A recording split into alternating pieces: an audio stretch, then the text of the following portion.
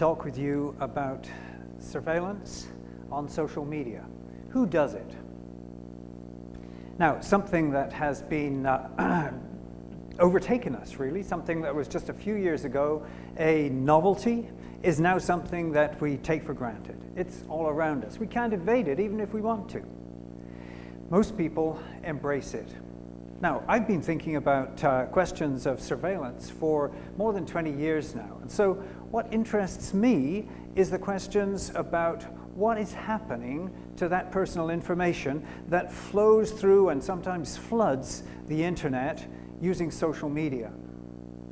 So, I want to ask the question then uh, is it them watching us? Now, for some people, it seems to me that although there is an inestimable, inestimable amount of personal data floating around in the internet, few people seem to realize just how accessible it is, what is out there to be harvested.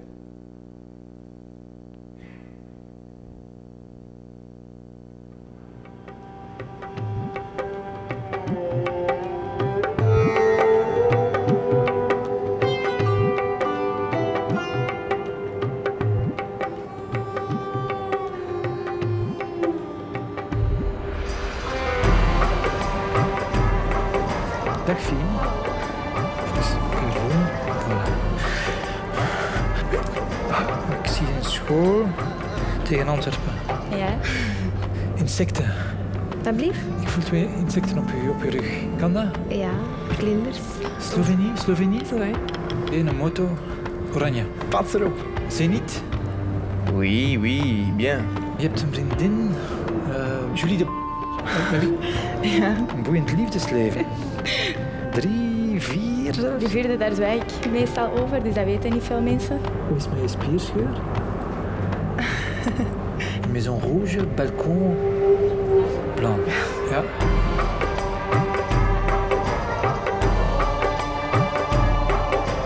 Ik zie geld, ik zie eh, transacties. Maar kent je rekeningnummer van buiten? Ik denk dat ik het wel weet. Die staat wel negatief op je bankrekening. Ja? 97. Last month you spent 200 euros on alcohol. Vorige maand 300 euro aan kleding gespendeerd. 8. Ja. 5. Voor een huis dat van eigenaar gaat veranderen. 795.000 euro. Ja, maar eigenlijk. 41. Ja. Is dat juist? Ja, dat is juist.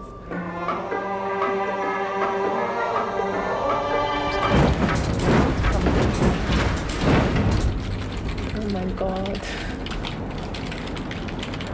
Man. Ah, niet hoe eng.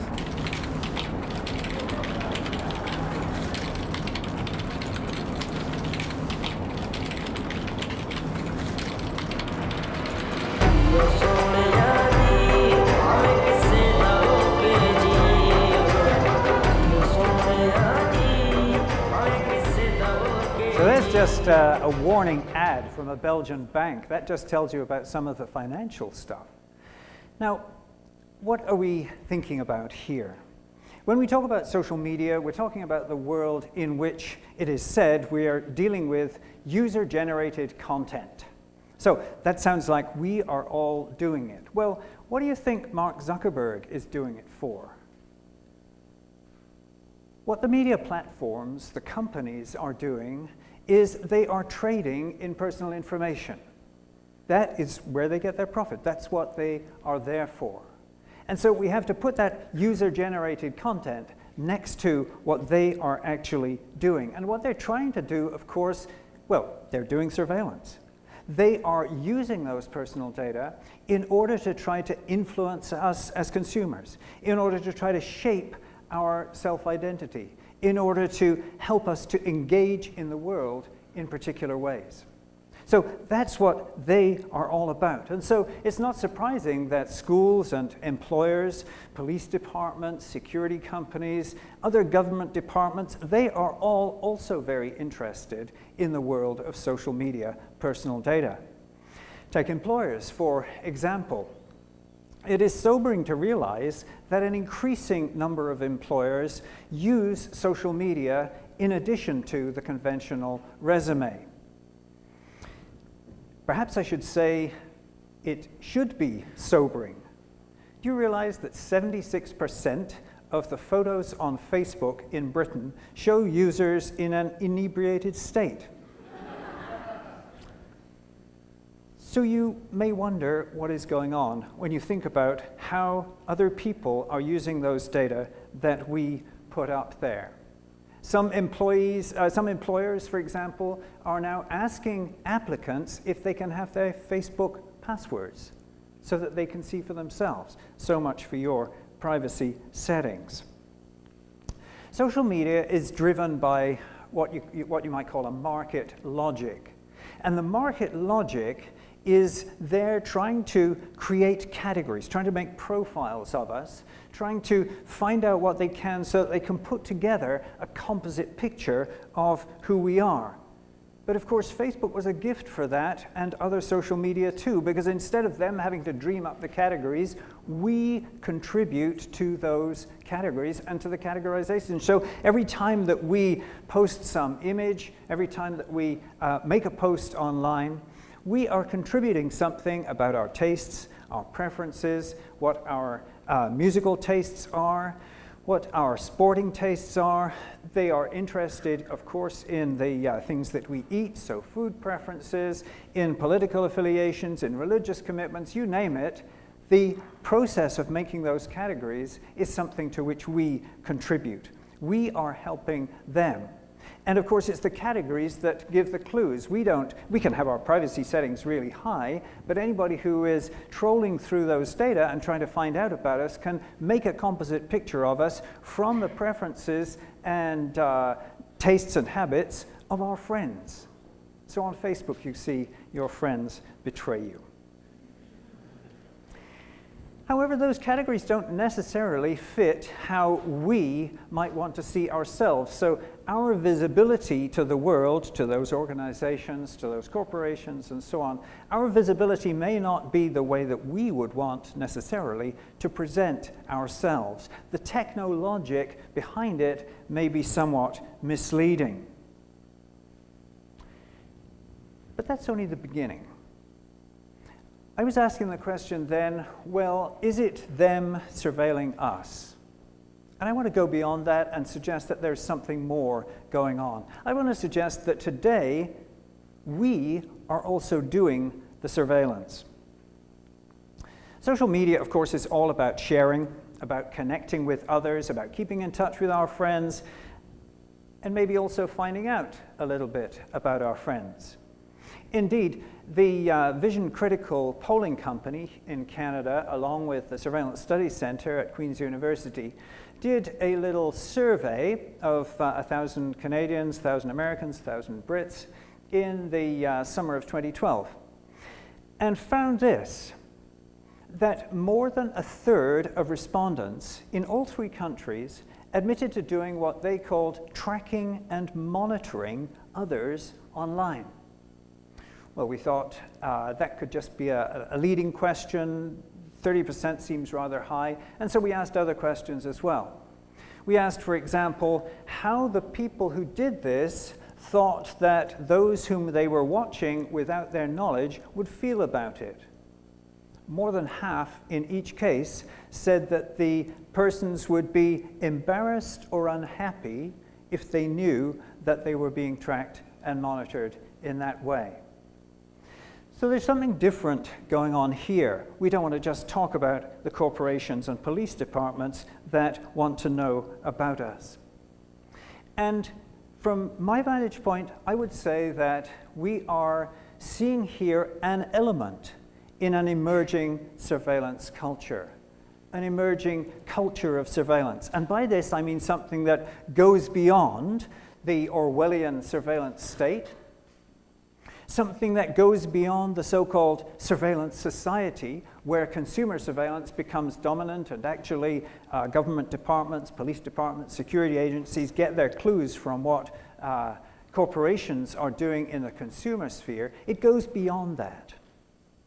What I want to suggest is that this consumer culture is one that is not just out there, Not just that we participate in every time we uh, put up our posts, our images, our uh, information, it's also something that is inside us.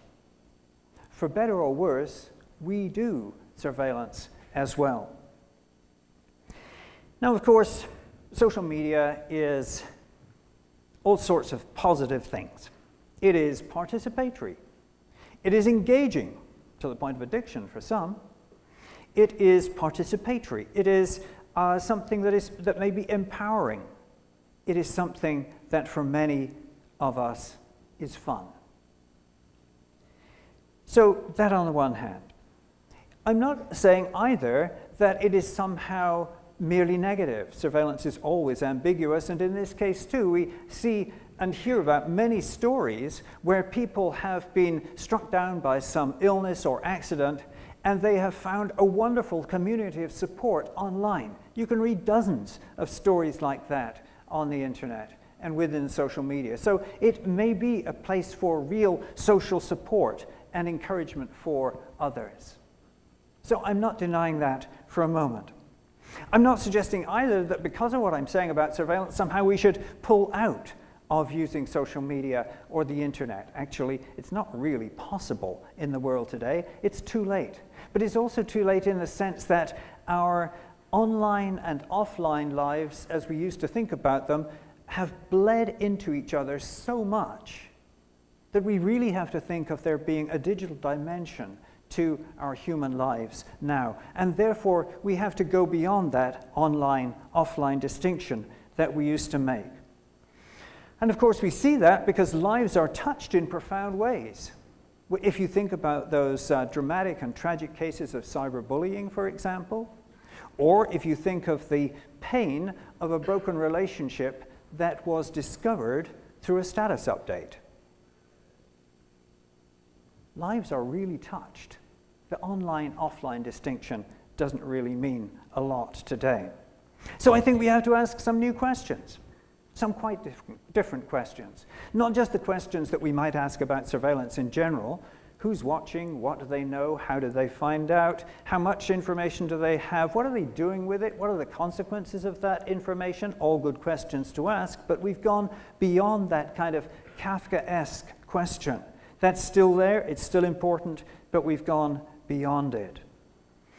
Those people who uh, say that they track and monitor others online, well, that's what they do. And they say, on the one hand, the same people will say they oppose monitoring of their lives and profiling by corporations. But they're the people who are also doing that tracking and monitoring online. This is why I think we need to ask some new questions. That which emerges, that surveillance which emerges in a context that we think of as fun, enjoyable, participatory, may not be fun, may not be harmless, for all those who are involved. But not only that. If we're doing surveillance in a context where fun is the dominant motif, then that could serve to naturalize, to domesticate, to uh, make it seem normal to engage in surveillance. When, as I say, it's ambiguous. There are many contexts within which surveillance may be far from harmless. So here's the challenge before us then. We have to think in new ways, imagine in fresh ways our personal information. Think about it differently, not just my privacy, and how can I get those privacy settings higher? How can I really give them teeth, make them work?